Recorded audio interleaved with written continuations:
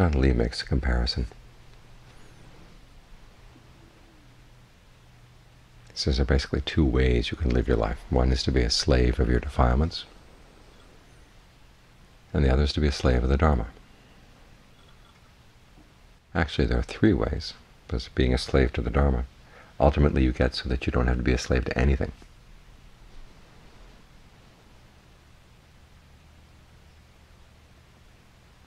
But as long as there's still work to be done in the mind.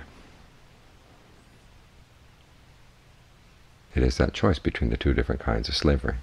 And there's hard work on both sides. The difference, though, is that the work of the Dharma frees you.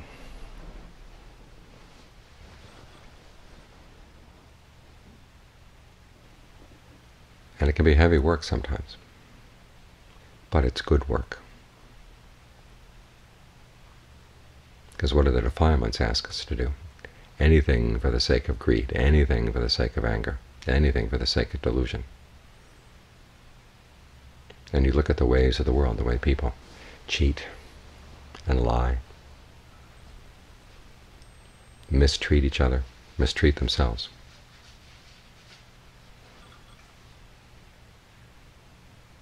That's what slavery to the defilements is like. Do horrible things, things you're ashamed to do, and then the results you get are really not satisfying. Whereas if you're a slave to the Dharma, the things you're asked to do are good things. To be virtuous, to be generous, to develop good qualities in the mind.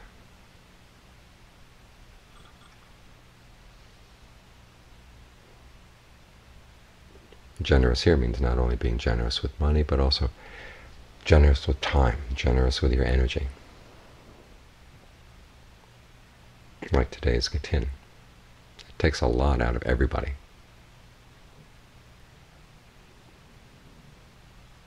But being tired in this way, it's a good tired.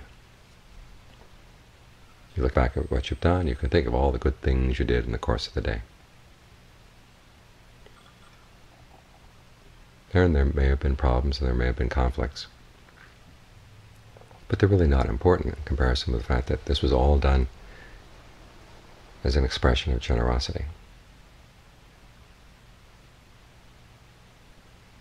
And we developed other good qualities as well. The, the perfections are built in this way, the perfection of endurance, tolerance, truthfulness, in the sense of making up your mind you're going to do something and you stick with it all the way through, no matter how hard it gets persistence, determination, sort of the Capricorn virtues.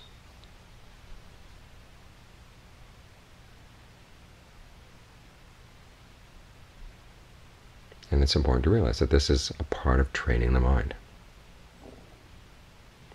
If it were just simply a matter of closing your eyes and sitting very still, it'd be a lot easier, but it wouldn't really challenge you in the way that the full training of the mind does.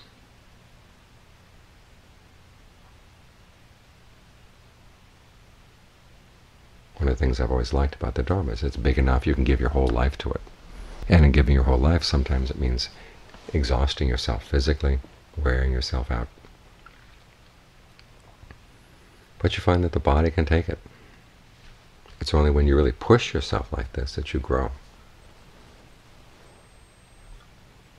You go stay in a monastery in Thailand.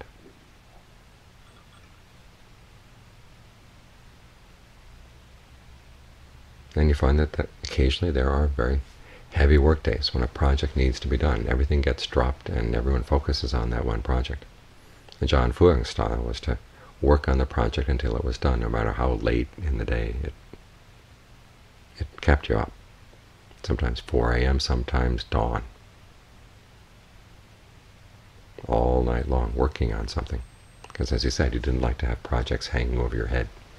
So you just kept doing, doing, doing them until either you dropped or the project was done. And if you happened to drop, well, you dropped for a few hours, took a rest, came back, and work was still being done, and you can capped at it. And then things would go back to normal. The monastery here, and there too will be back to normal, except for the persimmons. But there will be an end to the persimmons as well. So it's good to be up for whatever is required. And that's a good attitude to have as you go through the practice. You can't make up your mind you're going to sit two or three hours every day and you'll be guaranteed at the end of a certain amount of time that just having put in your regular two or three hours, things will open up and you'll meet up with the deathless. There are going to be times when you will have to push yourself harder, harder than you want to.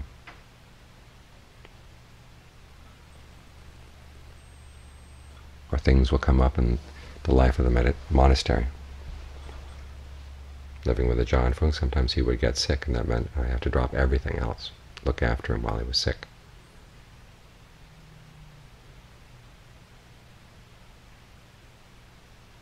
Or as we saw a little while back, a fire comes in, okay, you have to evacuate. In other words, as a meditator, you want to be up for whatever is required. And sometimes it looks like huge things are being required of you. But ask yourself, okay, what's life like when you go back to be a slave to the defilements again?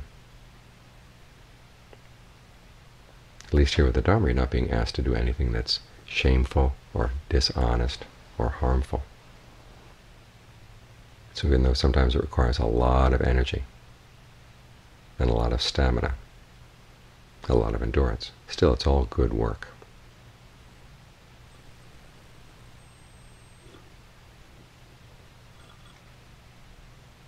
I had a friend one time who was getting army training, who was telling me about they would have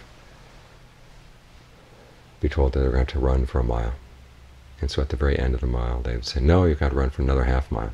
Of course, you couldn't complain that the promise was only for a mile, because after all, as a soldier, you were practicing how to go out into a battlefield.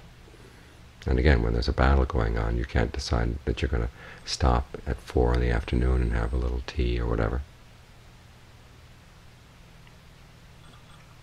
Or have everything over at a reasonable hour when things get crazy like that, you have to be up for whatever there is and have to be able to dig down and find whatever reserves of strength you might have that you didn't expect.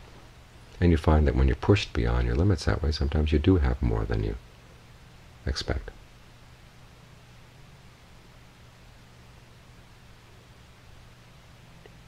So as you're doing battle with the defilements, you have to be ready to do whatever is required, to make whatever sacrifices are required whether you feel that they're fair or not, whether at that particular moment you feel up for it or not. If that's what required, that's what you do. And that's one of the best attitudes to have in the practice. You do what's needed because it's good work to do.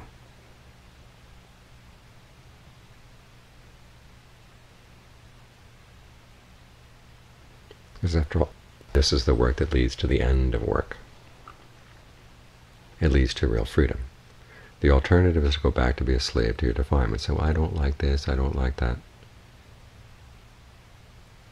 That's just your defilements talking. And who knows where they're going to lead you. And there's no freedom, there's no end to the defilements, unless you decide to put an end to them, in which case you become a slave to the Dharma. And this is the kind of slavery where you can work your pay your way out of slavery.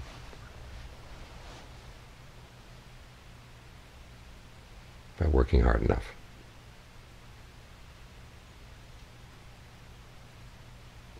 The work is fair. It may not meet up with your original ideas of fairness, but it's a good trade. You develop good qualities of mind, honorable qualities of mind a sense of integrity.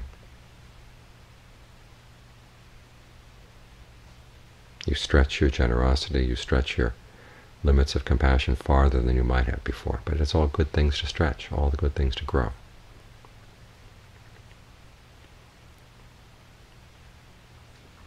And all these things yield freedom. So that at some point you reach the point where you don't have to be anybody's slave at all.